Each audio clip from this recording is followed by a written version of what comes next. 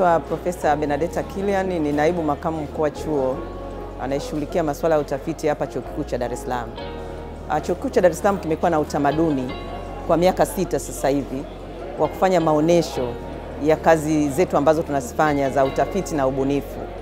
Uh, kwa hiyo hii ni mara ya sita tangu tumeanza na tunaendelea nalo, ni la kila mwaka linafanyika uh, kipindi kama hiki, na utaratibu wetu huwa tunaanza haya maonyesho katika ngazi ya vitengo mbalimbali ambavyo uh, tunavyo. Unajua chuo kikuu cha Dar es Salaam ni chuo kikubwa, kwa hivyo vitengo mbalimbali vinaonyesha kazi zao. Baadaye kunakuwa na watu ambao wanafanya tathmini, majaji tunawaita, wanaangalia zile kazi ambazo uh, wafanyakazi wetu pamoja na wanafunzi za kiutafiti na kiubunifu zinachaguliwa, chache zinaletwa katika ngazi ya chuo kikuu ambayo ndio siku ambayo tupo hapa leo. Kwa mwaka huu tumekuwa na kazi takribani 220 za wafanyakazi wetu na zimeongezeka kwa kiasi kikubwa. Kwa mfano kazi za wanafunzi kwenye ubunifu na zenyewe zimeongezeka sana, na tukio hili linakuwa wazi tu kwa wananchi wote na umma kwa ujumla kuhudhuria na kuangalia kazi zetu ambazo tunazifanya. Lakini pia katika kipindi hiki tunaalika wadau mbalimbali. Kwa mfano katika mwaka huu tumealika sekta binafsi, uh, makampuni mbalimbali yanayojihusisha katika uzalishaji wa products mbalimbali uh, makampuni ya madini, makampuni ya chakula, makampuni ya vinywaji, makampuni ya simu, na tumekuwa na mijadala nayo. Kwanza kabisa ni kuwaonyesha vitu gani ambavyo sisi tunafanya katika masuala ya utafiti na ubunifu, na pia kujaribu kuja na mikakati ya kuweza kushirikiana zaidi.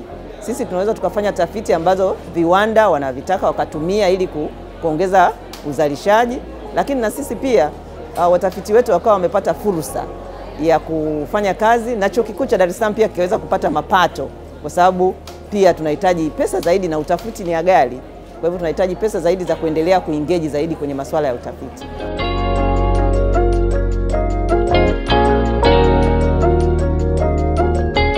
Cha kwanza kabisa ni kulitangaza hili tukio, na nichukue fursa hii kuwatangazia kwamba kila mwaka na huwa tunatangaza kwenye vyombo vya habari vyote kwamba tunawaalika wote, hata wale wabunifu kutoka mtaani tunawaalika ili waje kushirikiana na sisi. Hilo la kwanza. Lakini la pili, Chuo Kikuu cha Dar es Salaam huwa tunashiriki kwenye maonyesho ambayo yanafanyika katika mikoa mbalimbali. Tunakuwa, na maonyesho, tunaenda Sabasaba ambako watu wengi kutoka maeneo mbalimbali wanapata fursa ya kuona kile kitu gani tunafanya. Kwa hivyo haya uh, maonyesho na hii miradi ya utafiti unayoiona hapa, mingine hii hii ndio huwa tunaichukua tunaenda nayo kwenye maonesho, kwa mfano ya Sabasaba. Tunashiriki kwenye maonesho ya Nane Nane katika mikoa mbalimbali. Kwa mfano mara ya mwisho tulikuwa Simiu, tumeshaenda Lindi. Tunashiriki pia kwenye maonesho yote yale ya sayansi na teknolojia, kwa mfano yale yanayoendeshwa na Wizara ya Elimu. Kwa hivyo tunashiriki kwenye maonesho mengi, na hii inatupa fursa sisi kuweza kuwafikia wengi zaidi. Lakini pia tumekuwa tunapokea uh, ambao tunawaita kwenye incubation yetu kule ambako tuna, tuna, tuna, wanahatamia tunaita kuna vihatamizi.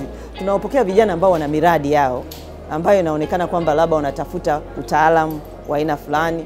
Kwa hivyo hapa tuna utaratibu huo, tunafanyia analysis, tunawapokea na tunawapa ushauri wa kuboresha zile biashara zao, ili kama ile biashara itakuwa kubwa na ikaweza kutoka, basi tunaingia katika makubaliano ya kuweza kushare Uh, yale mapato. Kwa hivyo asilimia kubwa inakuwa ya kwake, sisi tunachukua tu ile ndogo, lakini tunakuwa tumechangia katika uh, kuwezesha vijana waweze kujitegemea.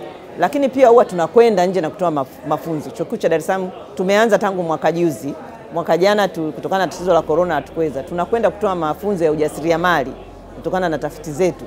Tanzania nzima tunachagua, kwa mfano last time tumeenda kwenye mikoa nane na hapa sana sana tunawalenga wale wahitimu wetu ambao wamemaliza, lakini bado wanapata changamoto labda za kuanzisha biashara au za kujitegemea katika njia moja au nyingine. Kwa hiyo uh, Chuo Kikuu cha Dar es Salaam kimekuwa na programu hizo mbalimbali za kujaribu ku, kulink na, na, na wadau mbalimbali, lakini nikubaliane na wewe, labda sasa tufanye zaidi ili kuhakikisha kwamba labda haya uh, maonyesho badala ya kufanya hapa Chuo Kikuu cha Dar es Salaam kwenye maeneo haya, labda tunaweza tukaenda tukafanyia Nazi Moja eh, ambako au Manzese au wapi ambako watu wengi wanaweza kuja na kuangalia uh, miradi yetu na tafiti zetu na ubunifu.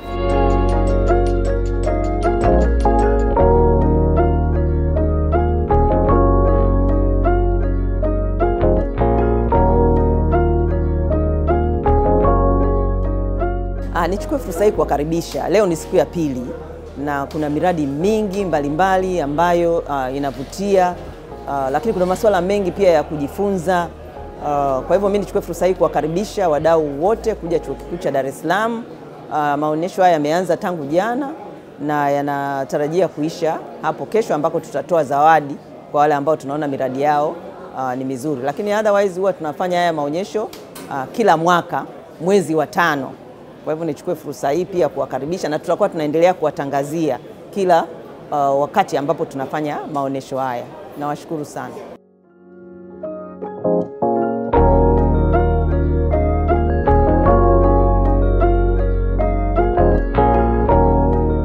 Majina anaitwa Kadondoro Yusuf Hussein.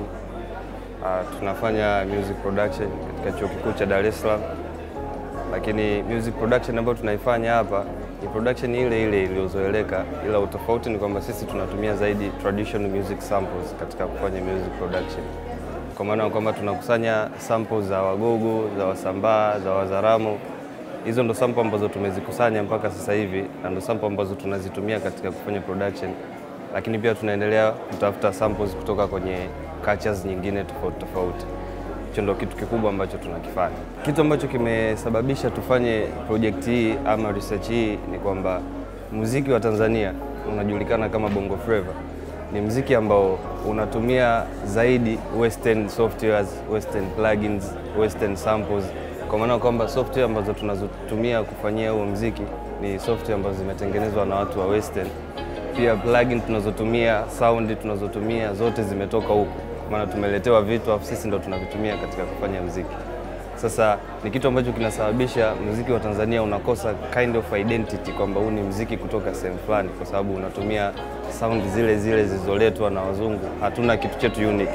Kwa hiyo tukaona tufanye kitu cha namna hii kwamba tutafute traditional samples, alafu tu, tukishazitafuta tunazitumia na kuziprocess ili tuweze kuziingiza kwenye mfumo ambao tumeletewa nao wazungu, sisi tuzitumie kutengeneza mziki wetu sisi.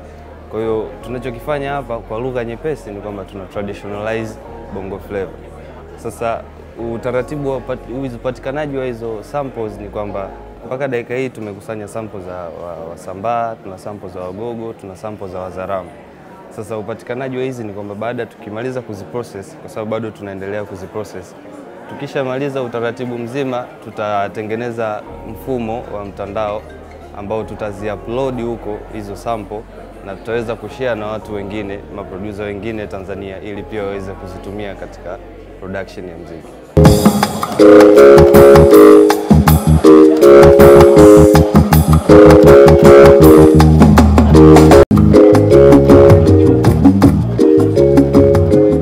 Future ya project hii ni kwamba tunatamani tupate identity ya mziki wetu sisi kama Watanzania. Tutakapokusanya samples tumeplani kufikia makabila yote ya Tanzania, tupate saundi kutoka makabila yote Tanzania. Kwa tukifanikiwa kupata sample zote, nafikiri tutaweza kutengeneza kitu ambacho tutasema, tukipiga kitu tunasema okay, hii ni saundi kutoka Tanzania. Hicho ndo kitu kikubwa ambacho tunakiaim.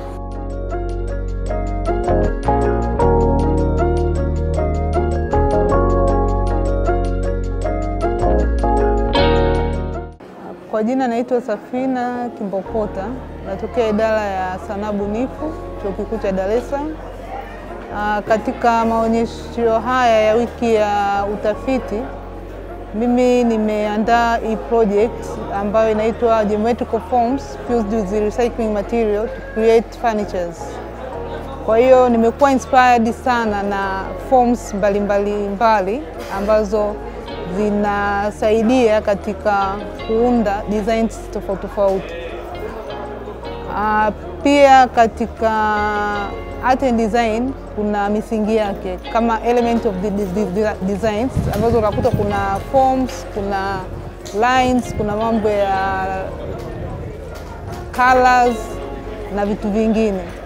Kwa hiyo vile ndivyo ambavyo vimeniwezesha mimi kubuni aina tofauti tofauti ya designs za furnitures kama unavyoziona, lakini pia natumia mali ghafi taka, vitu ambavyo vimetumika tayari. kuna mbao hapa, ambayo hii mbao ni mbao za majahazi, na jahazi tunajua kwamba linasafiri miaka, yani kwa muda mrefu baharini na linabeba vitu vingi, watu, bidhaa tofauti tofauti, lakini mwisho wa siku linavyochoka huwa linakuwa tu, yani linapakiwa na maisha yake yanakuwa ameishia hapo. Kwa hiyo sisi tuna, tuna, tuna, tunaipa maisha mengine eh, kwa ku create bidhaa ambazo zinatumika ma, kwenye majumba zinatumia fomu tofauti tofauti. Pale ni magogo ya miti, na ile miti nikikuta sehemu kama kuna magogo, aidha au anaomba au kama ni ya kununua nanunua, then nakuwa na hiyo collection, na yale magogo najaribu kuyatumia jinsi ninavyoyakuta sehemu husika bila kuyatoa katika ule uhalisia wake. Mkiangalia kwa kama ile meza pale juu ni ile ni base ambayo imetumia mbao, lakini kwa chini unaona kama kuna branch ya mti eh? Ni gogo lakini kuna kama matawi matawi ambayo ndo inatumika kama nini zake za, za, za chini. Uh, pia tuna nafanya recycling za vitambaa na natengeneza cushions kama hizi. Uh, lengo kubwa kwa huu mradi ni kujaribu kuelimisha jamii kuhusiana na kutunza mazingira kwanza, lakini pia tunajua kwamba malighafi katika kazi yoyote, malighafi imekuwa ni changamoto, lakini kwa kupitia hizi taka mtu ana uwezo wa kuzalisha bidhaa ambazo zikawa na thamani na zikauzwa kwa thamani kubwa pia. Hiyo moja, lakini pia mbali na hapo kwamba unakuta watu hawana mitaji ya kufanya biashara, kwa hiyo inamsaidia mtu hata kama akiwa na mtaji mdogo. Kwa mfano kama ile ni matairi tu, nimetumia matairi, magogo pamoja na rangi kwa ajili ya finishing. Kwa hiyo inamrahisishia mtu hata ambaye hana mtaji, ana uwezo wa kuifanya hiyo biashara. Lakini sisi kama ni taasisi ya elimu, lengo kubwa ni kutoa elimu kwa jamii katika kujiajiri, vijana au wazee wa mama kujiajiri wenyewe kupitia taaluma kama hii. Kwa hiyo lengo kubwa ni kutoa taaluma, kuwawezesha vijana katika mambo ya ubunifu, kubuni vitu ambavyo vinaweza vikathaminishwa na vikaa na thamani kubwa, na pia kuuzwa aidha ndani na nje ya nchi.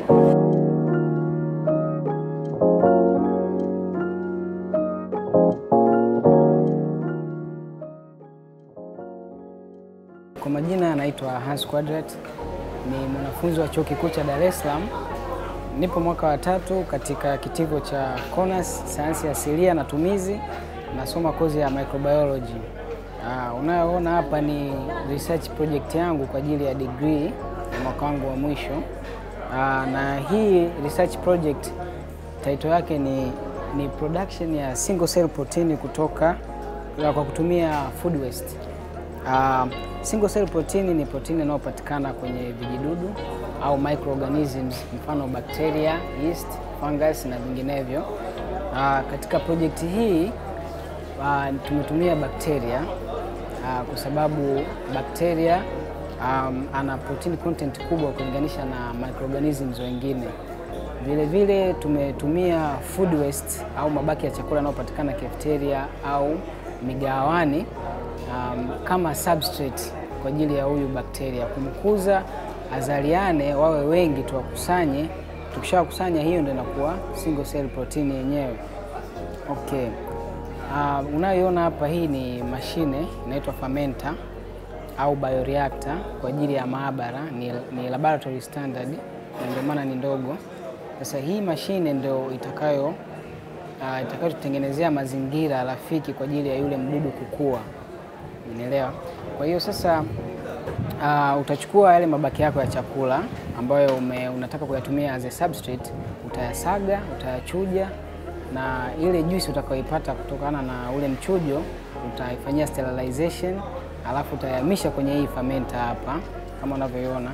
Vile vile utachukua yule bakteria wako ambaye unamtumia for single cell production, utamuinoculate humu, yule bakteria atatumia uh, substrate zilizomo humu kukua na kuzaliana. Mwisho wa siku watakuja wawe wengi na utaweza kuwa harvest vizuri. Kwa hiyo baada ya siku kadhaa, unaweza ukaanza ndani ya siku moja hiyo hiyo au baada ya siku tatu au baada ya wiki, uh, inategemea na unahitaji product kiasi gani. Uh, kwa mfano baada ya wiki utakuja utoe portion ya kwa sababu hii ni laboratory standard, kwa hiyo haina sehemu nyingi za kutolea, itabidi utoe manually. Utatoa utatoa portion ya liquid utaicentrifuge. na baada ya kucentrifuge ndio utapata product kama hii hapa.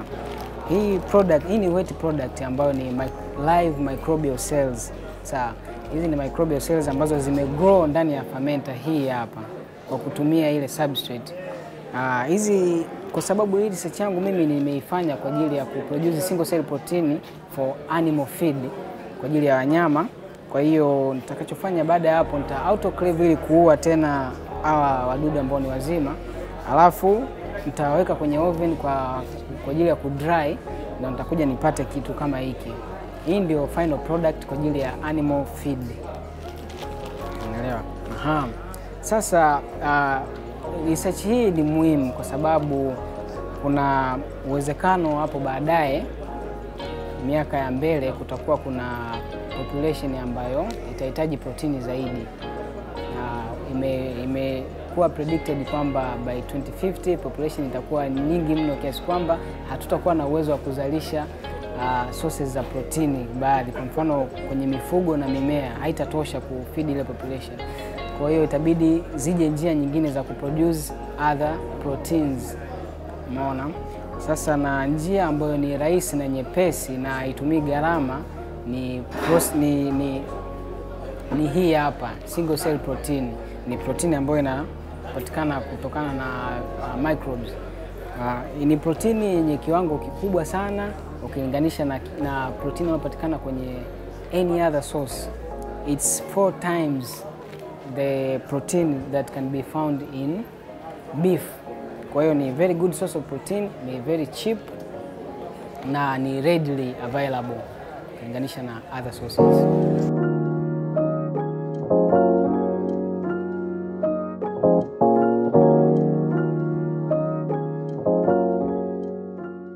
jamii inaweza kulikubali au kukubali teknolojia hii, na kama kuna changamoto za kijamii, changamoto gani za kijamii zilizopo e, ambazo zinaweza kuathiri watu kutumia teknolojia hii, ili kwamba tukijua hizo changamoto tuje tuone namna gani tutaboresha majiko haya kuondokana na hizo changamoto. E, sasa tuna, tunachotarajia kukifanya sasa hivi ni fezi ya pili ambayo ni ku, kwanza tunachukua majiko kadhaa ambayo tutapeleka kwenye kaya angalau 45 hadi 50. E, na kwa kuanzia tutaanza na kaya katika, katika kijiji kimoja katika mkoa wa Iringa. Uh, Iringa ni miongoni mwa mikoa yenye jua la kutosha. E, Iringa, Dodoma, e, Tabora, Singida yote hayo ina jua kali sana e, hasa wakati wa mfumo wa kiangazi. Kwa hiyo tutapeleka huko e, lengo likiwa ni kujifunza changamoto ambazo wananchi wanaweza kuzipata wakati wanatumia haya majiko, na kutokana na mafunzo haya tuje kuboresha zaidi haya majiko ili yaweze kutumika. Baada ya hapo, mategemeo ni kuona kama tunaweza tukashirikiana na wadau wengine e, ili majiko haya yazalishwe kwa wingi zaidi, labda wananchi wengi zaidi wapate fursa ya kuyapata na kuyatumia. Niseme tu labda kwa kumalizia kwamba majiko haya sio tu kwa watu wa vijijini, lakini hata watu wa mjini wanaweza kufaidi sana, kwa maana ya kwamba e, alimradi tu una sehemu ya kuliweka likapata mwanga wa jua, utakuwa umepunguza matumizi ya, ya, ya fedha kununulia e, nini nishati kama ya mkaa au kuni, kwa sababu tunafahamu wote jua tumepewa na Mwenyezi Mungu ni bure. Kwa hiyo vifaa hivi ukinunua tu mara ya kwanza hununui tena, we hununui nguvu. Nguvu ni bure, ni nguvu za jua, na kama kikitunzwa vizuri hivi vifaa vinaweza vikakaa miaka kadhaa. Kwa hiyo jiko hili linakaa miaka mingi tu na e, linahitaji marekebisho madogo sana katika umri wake wote inaweza kukaa. Kwa hiyo kimsingi hayo ndio mambo tunayojaribu kuyafanya.